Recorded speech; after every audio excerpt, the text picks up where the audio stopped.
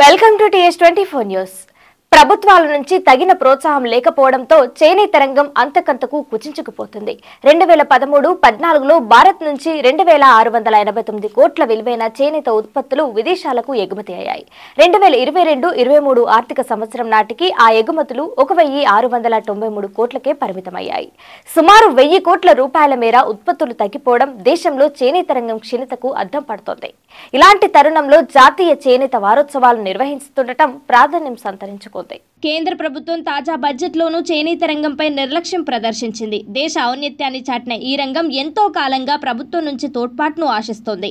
ఆదుకోవడం మాట అటుంచి తమిళనాడు తెలంగాణ కర్ణాటక మహారాష్ట్ర గుజరాత్ మధ్యప్రదేశ్ ఉత్తరప్రదేశ్ రాష్ట్రాల్లో మెగా జౌలీ పార్కుల ఏర్పాటుకు నిర్ణయం తీసుకుంది. ఇప్పటికే ఎన్నో ప్రతికూలతతో కొట్టుమిట్టాడుతున్న భారత చేనేత రంగం ప్రభుత్వ అలక్ష్యం జౌలి ఉత్పత్తుల నుంచి ఎదురవుతున్న పోటీతో రోజులు లెక్కిస్తోంది చేనేతకు అనుబంధమైన జౌలి రంగాన్ని కేంద్రం ఇతోధికంగా ప్రోత్సహిస్తుంది. అభివృద్ధి ఉపాధి ఎగుమతుల దృష్ట్యా ఈ నిర్ణయం సబబే అయినా సాంప్రదాయ చేనేతపై నిర్లక్ష్యం చూపటం ఏమాత్రం సమర్థనీయం కాదు. చైనా జపాన్ తదితర దేశాలు చేతి వృత్తులను కంటికి రెప్పలా కాపాడుకుంటున్నాయి. విధానపరంగా ఆర్థికంగా వాటికి తోడ్పాటు అందిస్తున్నాయి. భారత్లో ఈ దృక్పథం కొరవైంది. చేనేత వస్త్రాల పరిరక్షణకు ఉద్దేశించిన రిజర్వేషన్ల చట్టాన్ని అమలు చేయకపోవడం వల్ల జౌలి ఉత్పత్తులను చేనేతవిగా నమ్మించే ప్రయత్నం ప్రయత్నాలు జరుగుతున్నాయి. పర్యావరణ హితమైన వస్త్రాల స్థానంలో నకిలీవి మార్కెట్లోకి ముంచెత్తుతున్నాయి. దాంతో నేత కార్మికులు తయారు చేసే వస్త్రాలను కొనడం తగ్గిపోతుంది. అనేక రాష్ట్రాల్లో నేత కార్మికులు రోజువారీ పెట్టుబడి కోసం అప్పులు చేస్తున్నారు. దాదాపు అరవై ఏడు శాతం కార్మికుల నెల సంపాదన కోసం ఐదు వేల రూపాయలైనా ఉండటం లేదు. దశాబ్దాలుగా దేశ సంస్కృతి సాంప్రదాయాలు కళా నైపుణ్యానికి నిదర్శనంగా ఉంటున్న చేనేతం క్రమంగా ప్రభావం కోల్పోతుంది. పాలకులు ప్రభుత్వాల అనాసక్తి ఈ రంగానికి శాపంగా పరిణమించింది. ముఖ్యంగా విధానపరమైన మద్దతు కొరవడుతుంది. రెండు వేల పదకొండులో దేశవ్యాప్తంగా అరవై తొమ్మిది లక్షల మంది చేనేత కార్మికులు ఉండగా ఇప్పుడు వారి సంఖ్య ముప్పై ఐదు లక్షలకు పడిపోయింది. నిపుణ కార్మికుల మరణంతో వృత్తి పనిలో నిమగ్నమైన వారి సంఖ్య ఏటికేడు భారీగా తగ్గుతుంది. అన్ని రాష్ట్రాల్లోని కొత్త తరం వివిధ వృత్తుల్లోకి ప్రవేశిస్తుంది.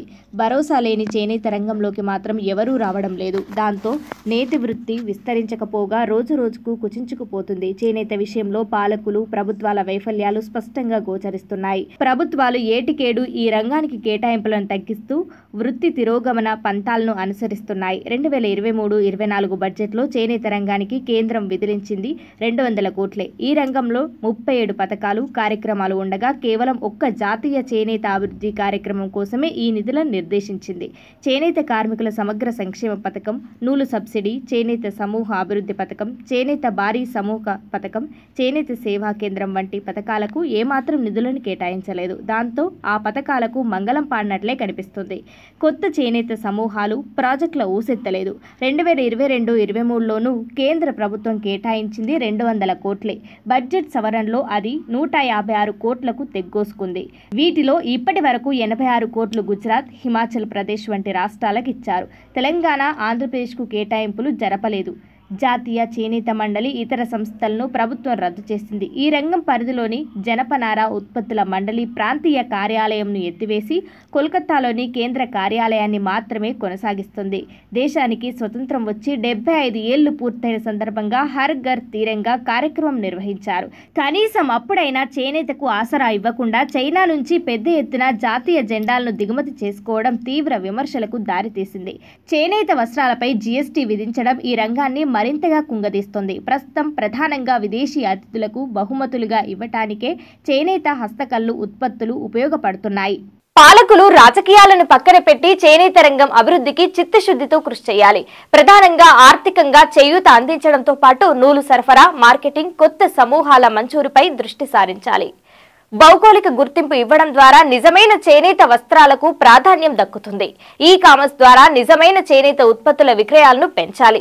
ముఖ్యంగా నేత కార్మికులు వారి ఉత్పత్తుల వివరాలను ఆన్లైన్లో ఉంచాలి. తద్వారా వినియోగదారులు నేరుగా వారికి సంప్రదించి తమకు నచ్చిన డిజైన్లను వస్త్రాలను తయారు చేయించుకునే సౌలభ్యం కలుగుతుంది.